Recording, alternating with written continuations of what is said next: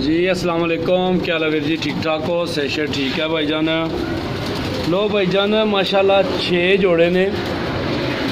अच्छे का ना थानू पहले विज़िट करा रहे हैं जनाब। सियालकोटी जनाब। वो भी लोरी है वो भी लोरी है भी लोरी है। यह जीरा है यह भी सियालकोटी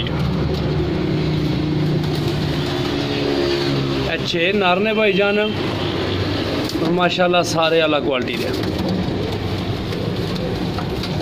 इंशाल्लाह काबले गौर न, ध्यान मारो सारे। हूँ तुम तो च्याम मादिया विज़िट कराते हैं जनाब। एक मादी है जनाब? एक मादी है भाई? एक मादी है भाई? क्या मादी है भाई? ਇਹ ਮਾਦੀ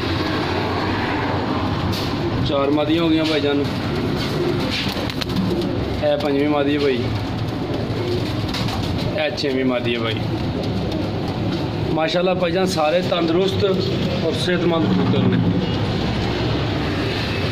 ਇਹ 12 ਪੀਸ ਨੇ ਭਾਈਜਾਨ ਔਰ ਇਹ ਸਾਰੇ ਇਕੱਠਿਆਂ ਦਾ ਰੇਟ ਹੁੰਦਾ ਵਾ। ਅਲੱਗ-ਅਲੱਗ ਦਾ ਰੇਟ ਨਹੀਂ ਹੁੰਦਾ। ਔਰ ਅਸੀਂ ਉਹਨਾਂ ਭਰਾਵਾਂ ਵਾਸਤੇ ਪਲੀਜ਼ ਮਾਜ਼ਰਤ ਕਰਦੇ ਹਾਂ। ਜਿਹੜੇ ਭਰਾ ਨੂੰ ਰੇਟ ਨਹੀਂ ਸਮਝ ਆਉਂਦਾ ਹੁੰਦਾ, ਨਾ ਉਹ ਬਾਈ ਕਮੈਂਟ ਕਰਨ, ਨਾ ਸਾਨੂੰ ਕਾਲ ਕਰਨ।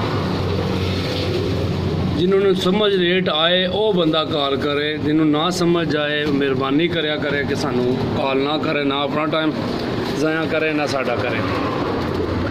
ਇਹ ਭਾਈਜਾਨ ਬਿਲਕੁਲ ਮੁਨਾਸਬ ਕੀਮਤ ਹੈ।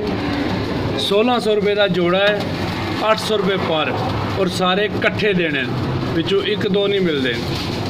ਸਾਰੇ ਇਕੱਠੇ ਦੇਣੇ ਨੇ 12 ਪੀਸ ਨੇ ਭਾਈਜਾਨ 800 ਰੁਪਏ ਪਰ ਜਿਸ ਭਾਈ ਨੂੰ ਸਮਝ ਆਵਣ, ਉਹ ਮੇਰਾ ਭਰਾ, ਇਹ ਸਾਡਾ ਰਾਬਤਾ ਨੰਬਰ ਹੈ ਔਰ ਜੇਲਮ ਲੋਕੇਸ਼ਨ ਹੈ ਭਾਈ।